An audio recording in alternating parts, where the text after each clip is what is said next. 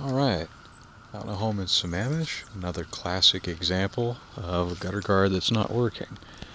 Here we've got a great steep roof. As you can see everything comes down it very nicely.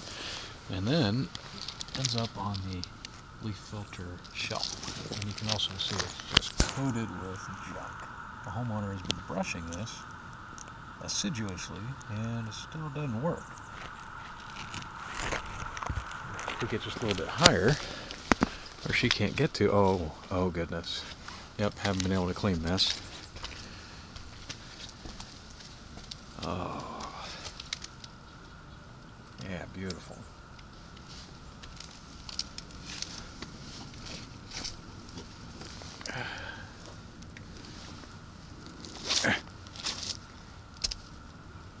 Yeah. Alright, well, we'll just replace this.